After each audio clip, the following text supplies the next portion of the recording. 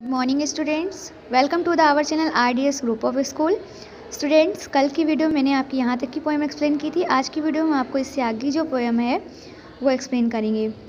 बहुत मन से खुश हो चला आज चेला। कहा, आज न्योता छकूँगा अकेला, मगर आके पहुँचा तो देखा झमेला। वहाँ तो जुड़ा था अजब एक मेला। बहुत खुश, चेला मन ही मन बहुत खुश हुआ। क्यों? क्योंकि जो राजा थे, उन्होंने उसे बुलाया था। उन्होंने सोचा कि राजा ने मेरे लिए न्योता भेजा और मैं जा कर के अकेले वहाँ पर न्योते में माल छानूँगा। यानी माल मतलब जो वहाँ का व्यंजन, जो स्वादिष्ट व्यंजन बने होंगे, उन्हें खाऊँगा। वहाँ तो जुड़ा था अजब एक मेला। वहाँ जाकर उसने देखा कि वहाँ पर बहुत सारे लोग, जैसे मे सर्कस के आसपास कई लोग खड़े होते हैं, उसी तरीके से वहाँ पर भी एक मेला जमा हुआ था। नाउ नेक्स्ट पेज भी देखिए। या मोटी है गर्दन इसे तुम बढ़ाओ। कहाँ राजा ने इसको फांसी चढ़ाओ? कहाँ चेले ने कुछ खता तो बताओ? कहाँ राजा ने चुप न बकबक मचाओ? या मोटी है गर्दन? तुरंत वहाँ पर गया और सत, मतलब जो संतरी था उसने कहा महाराज इसकी मोटी गर्दन है उसे इसे राजा से कहा राजा ने कहा इसे तुरंत फांसी पर चढ़ाया जाए। कहा चेले ने? चेले ने तुरंत कहा मेरी गलती तो बताओ मुझे क्यों फांसी पर चढ़ाया जा रहा है। राजा ने कहा चुप बग ना मचाओ। राजा ने कहा चुप हो जाओ एकदम, कोई भी बात मत बोलो।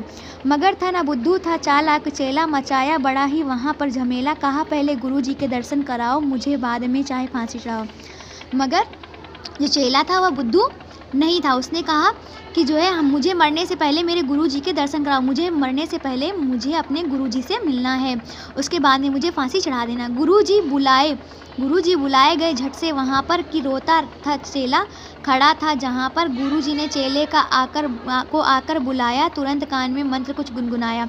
वहाँ पर झट से गुरु जी को बुलाया गया और चेला वहाँ पर खड़ा खड़ा रो रहा था। तुरंत ही गुरुजी ने चेले के कान में एक मंत्र फूका, यानी कोई बात बताई। झगड़ने लगे, फिर गुरु और चेला मन, मचा उनमें धक्का, बड़ा रेला पेला, रेल पेला। गुरु ने कहा, फांसी पर मैं चढ़ूँगा। कहा, चेले ने, फांसी पर मैं मरूँगा। यानी दोनों में झगड़ा, दोनों ही आपस में झगड़ा करने लगे और कहने लगे, पहले मैं फांसी चढ़ूँगा, पहले मैं फांसी चढ़ूँगा। हटाए न हटते, अड़े ऐसे दोनों, छुटाए न छुटते लड़े ऐसे दोनों, बड़े राजा का फ़ौरन कहा बात, बड़े राजा फ़ौरन कहा बात, क्या है? गुरु ने बताया, करामात क्या है? दोनों, यानी दोनों इस तरह से लड़ रहे थे कि एक पास, यानी एक दूसरे के पास से हट ही नहीं रहे थे। दोनों एक दूसरे को पकड़ पकड़ के बहुत ज़ोर से झगड़ा कर रहे थे। तो राजा ने तुरंत बताया कि मतलब मामला क्या है? मुझे बताओ। चढ़ेगा जो फांसी मुहूर्त है, ऐसी ना ऐसी मुहूर्त बड़ी, बनी बढ़िया जैसी। वह राजा नहीं, चक्रवर्ती बनेगा, इस संसार का छत्र उस पर तनेगा।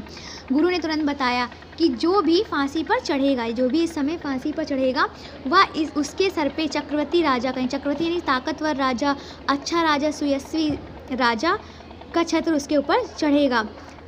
कहा राजा ने बात सच गर यही गुरु का कथन झूठा होता नहीं है। कहा राजा ने फांसी पर मैं चढ़ूँगा? इसी दम फांसी पर मैं टंगूँगा। यह बात सुनकर राजा तुरंत लालच में आ गया और उसने क्या कहा कि कोई बात नहीं, इस पर कोई फांसी नहीं चढ़ेगी, इस पर मैं फांसी चढ़ूँगा ताकि चक्रवर्ती का जो ताज है वो मेरे सर पर सज जाएगा। राजा ने कहा, मुझे फांसी पर टांगो, मैं फांसी पर टंगूँगा।